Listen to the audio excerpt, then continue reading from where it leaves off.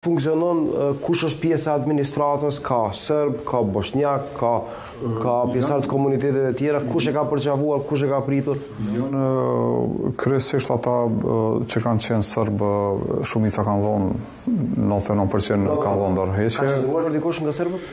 Prej gjitha komuniteteve kanë qëndruar. Kena këtu bashkë. Edhe nga serbët. Po. A janë kërcënuar?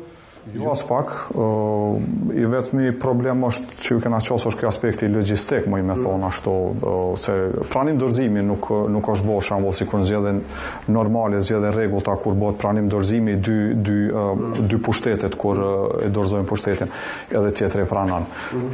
Kisha thonë,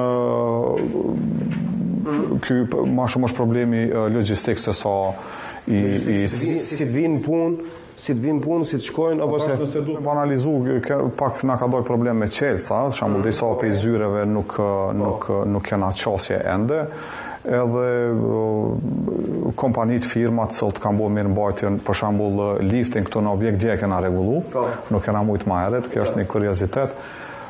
Po, këtu bohen pagesat janë arkat, edhe çka di, janë drejtoritë. Pastaj kemi Edhe emrat, nuk e di nëse janë emrat e, po besoj që janë emrat që vijnë nga nga e kaluara. Drejtori po i administratës. Ishte nënkryetare një një serbe? Po, është zonja Katarina Axhançiq, mm -hmm. vjen nga komuniteti serb. Mm -hmm. është është një personalitet goxha i njofshëm për këtë për këtë pjesë. Kryesisht merret Edhe me aktivitete kështu shoqëri civile, me thonë, shumë... Edhe aktivitete shoqëri civile.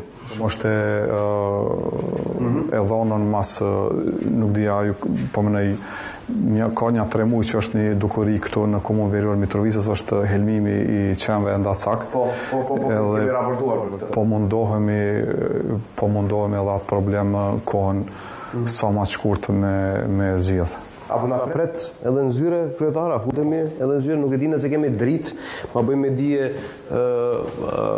Bujari dhe Roni të cilët janë me neve, futemi në katin e dytë, është, është